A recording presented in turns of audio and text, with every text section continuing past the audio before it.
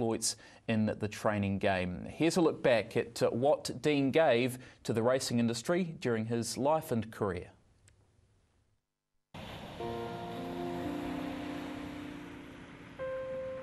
Gary Dean Logan was born in Whangarei, where he grew up on a dairy farm near Waipu.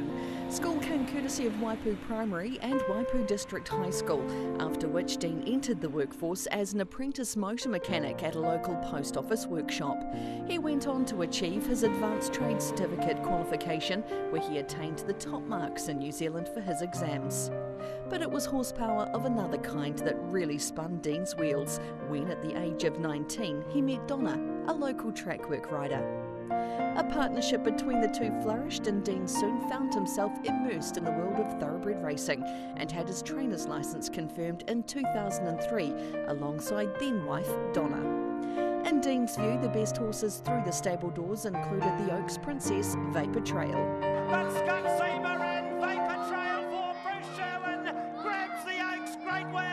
Metropolitan winner Victory Smile. Danny Beasley riding hard on Victory Smile. It holds Dress Circle and Piaget, and Victory Smile wins the Metro. Waikato Times Gold Cup victor El Duce. Duce, oh Mickey, you're so fine, you've won the cup a second time, El Duce. He banked the Wellington Cup with Zabit. Zabit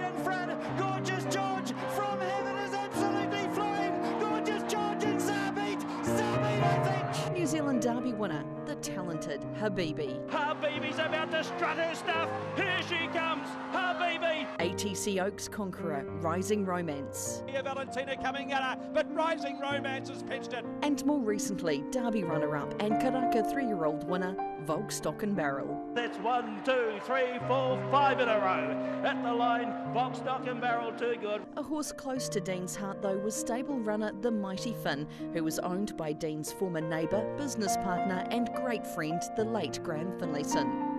It was a big day for the stable when the Mighty Finn took line honours in the Interprovincial, bearing the colours of Northland. Top of the straight, the mighty Finn, the shields to the far north end, the mighty Finn will win. Outside of horse racing, Dean had a passion for motorsports, in particular drag racing, and enjoyed personal success in the Fram Autolite Dragway, where in the Super Street Series he was either crowned champion or runner up over multiple seasons.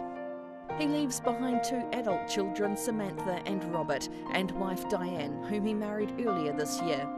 On behalf of the entire industry, our thoughts and prayers are with Dean's family.